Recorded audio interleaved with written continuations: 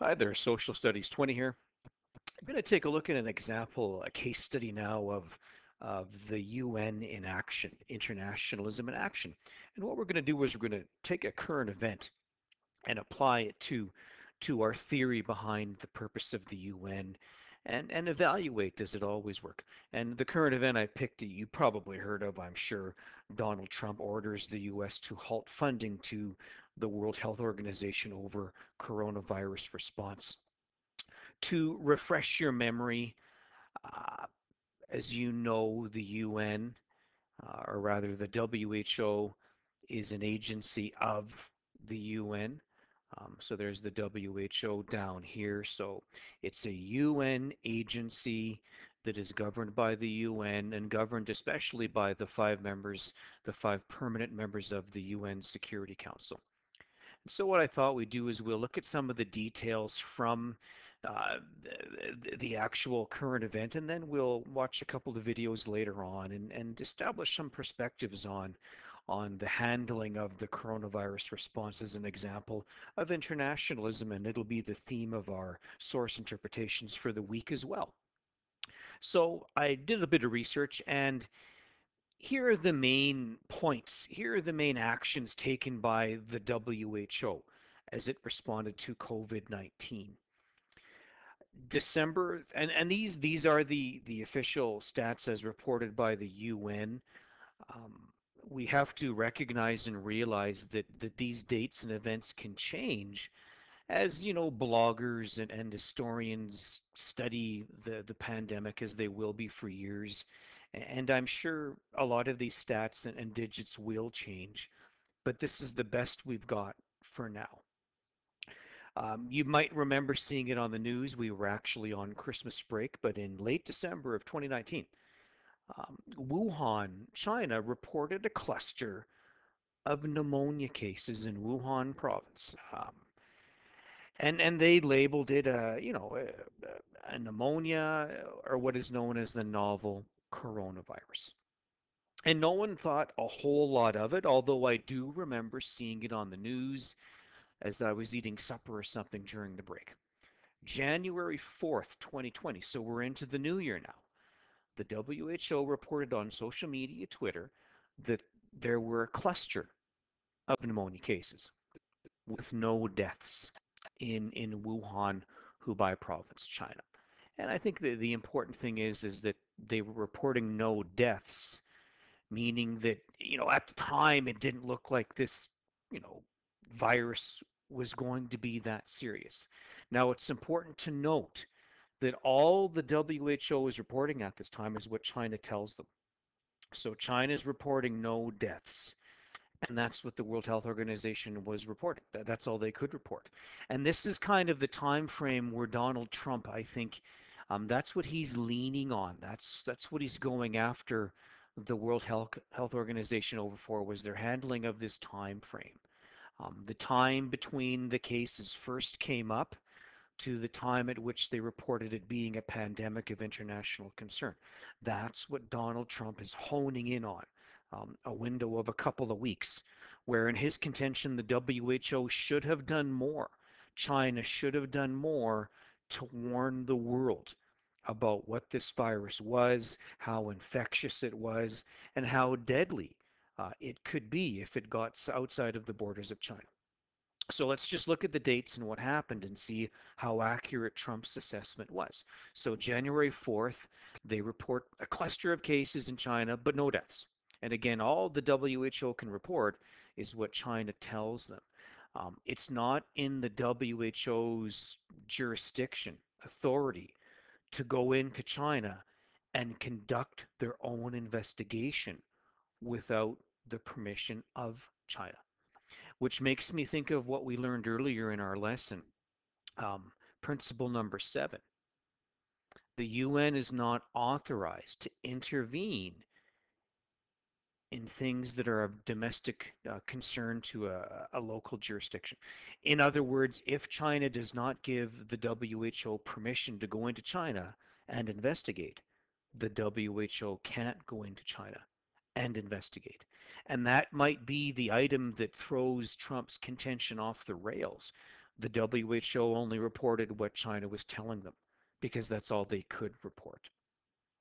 Anyway, um, January 13th, the first confirmed case of COVID 19 is reported outside of China in Thailand. So it's moving fast.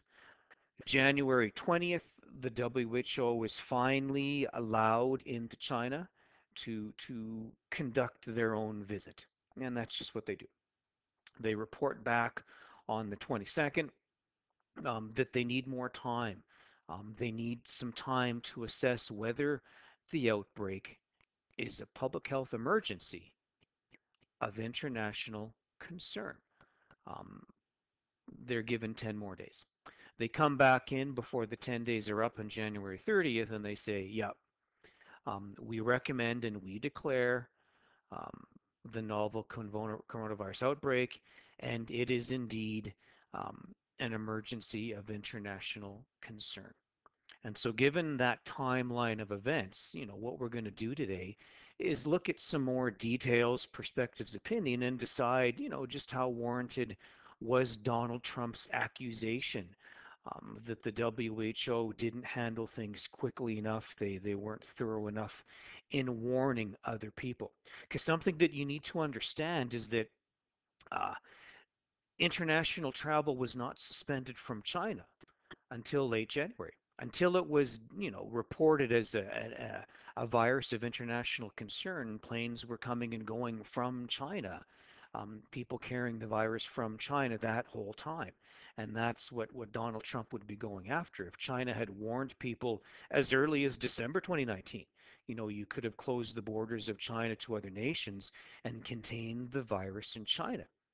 But from Trump's contention is by the time they declared this a public international emergency, it was already too late. The disease has been exported from China to probably all other nations by that time. But something to also keep in mind is that the WHO is not allowed into China until uh, January 20th to actually conduct an investigation and then report what I guess would be the truth. Through this in for you too, it's a big deal that America is halting its payments to to the WHO.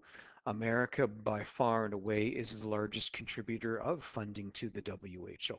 So it will be a crippling blow to the WHO. It'll mean they either go without the funding or other nations are going to have to step up to help fund China or help fund the WHO so they can do what they've always done. The WHO is very important to developing countries and curbing the spread of things like polio, malaria, HIV. The WHO saves you know, probably millions of lives a year in the developing world through its efforts of inoculation and vaccination, um, things like that. The World Health Organization. So it is a big deal. Um, a lot opinions vary from from you know vilifying Trump to blaming the WHO for his own inaction. I mean, after all, Donald Trump did did uh, respond very slowly to the threat of coronavirus, as as I'm sure you know. He didn't do enough soon enough to to curb the spread in America, and they suffered a, a lot because of it. So you get opinions on that but but also people that sympathize with Donald Trump and that China wasn't forthcoming enough with with what they knew about the virus. I mean, I had read accounts, and and, and again, who knows? But I'd read accounts that that virus was was was uh, known in China as early as mid-November. Um, in, in which case, why didn't they tell people? Um, we could have done much more to prevent the spread and saved a lot more lives. But as I told you earlier on, history will will continue to revamp itself until we get the truth behind uh, coronavirus. But that that'll be in a long, long time. So what you're going to do, uh, I've got a, a website for you to visit after I'm done here. It's about a 10 minute, you know, it's a conversation among an expert panel of people that were kind of in the know on the beginning of the virus in China.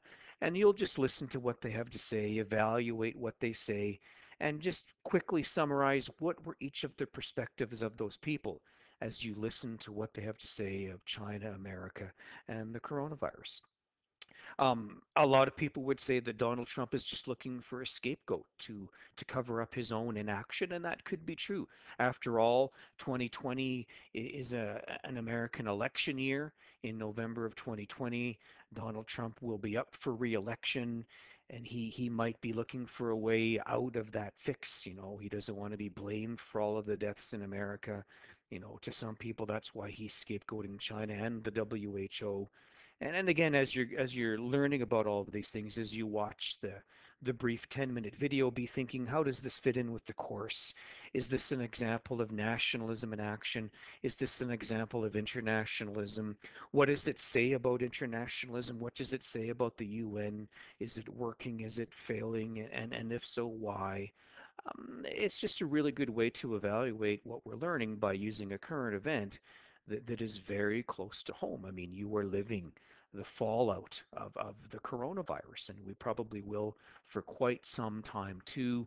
Um, and that's not mentioning the economic fallout that you will be paying for with taxes for the rest of your life um, as we, we combat the problem.